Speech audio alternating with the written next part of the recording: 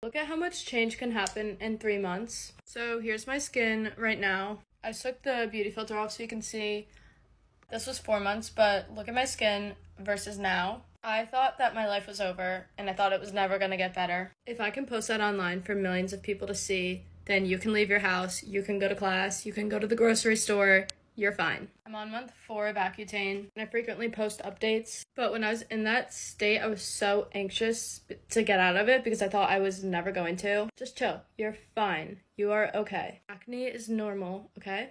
So this is just a reminder that it's not the end of the world and it's gonna be okay.